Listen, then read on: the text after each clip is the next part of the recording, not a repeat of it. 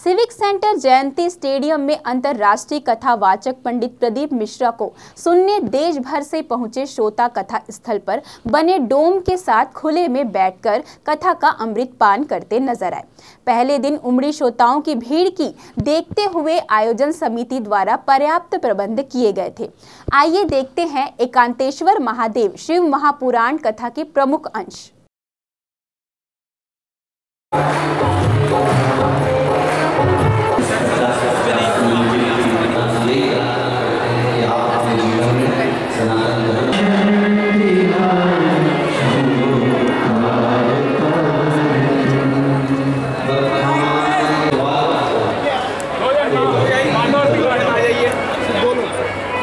नहीं जाता।